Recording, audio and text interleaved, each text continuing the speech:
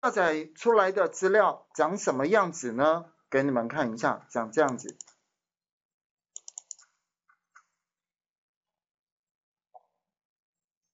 如果我用以下来去开，它大概就长这个样子，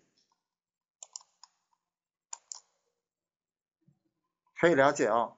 所以呢，我现在呢就不请你，因为光下载下来资料，你还要再做资料清理。那个资料清理呢，里面有很多的 know how，所以我就暂时不讲。可是这个部分是。我已经清理好，然后我们从这个部分开始交起。